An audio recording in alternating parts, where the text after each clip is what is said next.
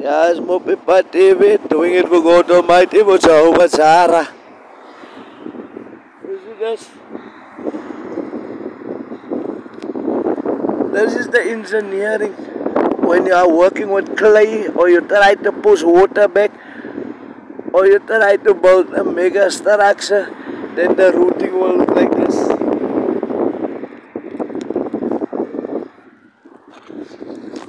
Let me just get on my bicycle.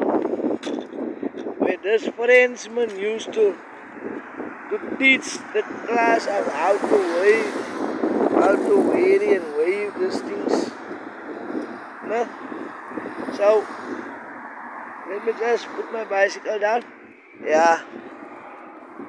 This is the wires which I was talking about.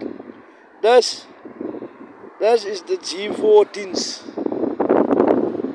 This is the G14 structure.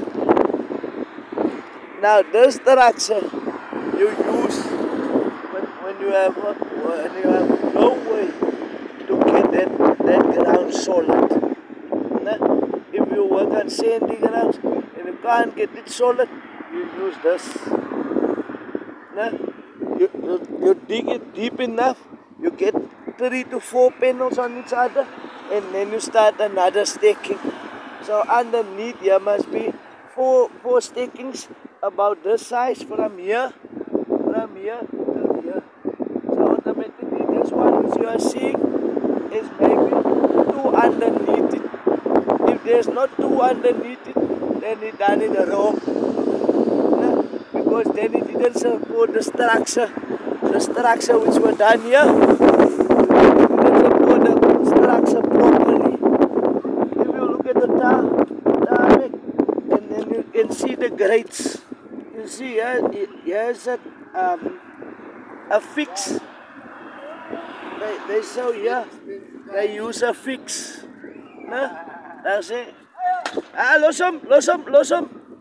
You see, they use a fix. There you can see, that's how a fix look. A flick, a fix, and they used it when they were making the tar. No? So, don't say I didn't tell you nothing. As Mopipa TV out.